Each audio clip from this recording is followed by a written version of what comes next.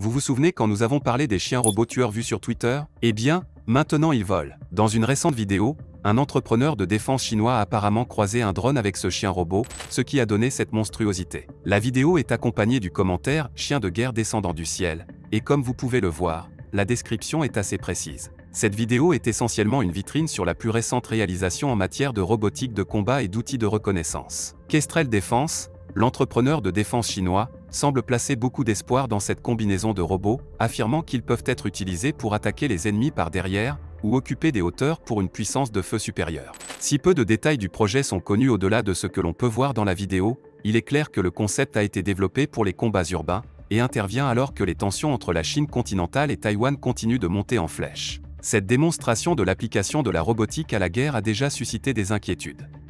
Les principales sociétés de robotique du monde, dont Boston Dynamics et la société chinoise Unitree, toutes deux connues pour leurs robots ressemblant à des chiens, ont lancé un appel contre la militarisation de leurs produits à usage général dans une lettre ouverte la semaine dernière. La lettre affirme que la nouvelle génération de robots apporterait des avantages à la société, mais aussi que, et je cite, des personnes indignes de confiance pourraient les utiliser pour porter atteinte aux droits civils, ou pour menacer, blesser ou intimider d'autres personnes.